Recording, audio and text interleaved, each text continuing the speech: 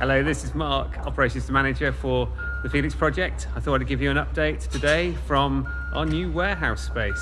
So I'm standing in the depot next door to our Enfield depot. This has been donated to us by our landlord SEGRO for the use for the for using during the, the crisis.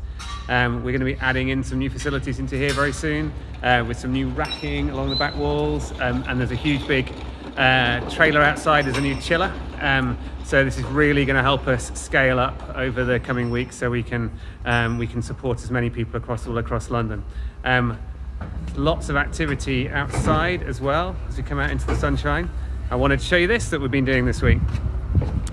We had 40 odd volunteers this week down in fields in Kent gleaning for cauliflowers. We've had 12 tons of cauliflowers that we've collected today that will go out to our charities and hubs and be able to support all the people that, uh, that need our help during this time.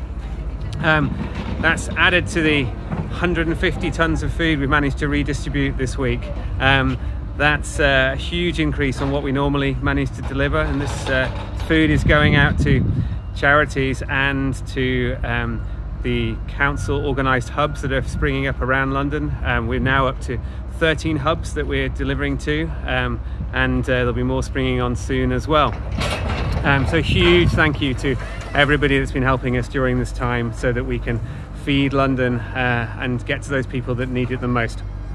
And a big thank you to those volunteers that can't be with us at the moment, that are uh, isolating for whatever reason or uh, looking after loved ones and can't get into help with us. We're still thinking about you and we're still um, looking forward to you coming back and joining us. Um, a few of the things we've been trying to do this week, um, we're constantly working on our health and safety messages and ensuring that we're socially distanced at all times and we're fulfilling all of the recommendations. Um, and also if you're uh, struggling to book on for shifts to, to help us at the moment, um, do keep um, trying. If you have a regular shift, book onto it and uh, as far in advance as you possibly can. You can always cancel that shift later if you can't manage it, but we want to make sure that those people that want to help us can, uh, can come in and do the shifts that they need.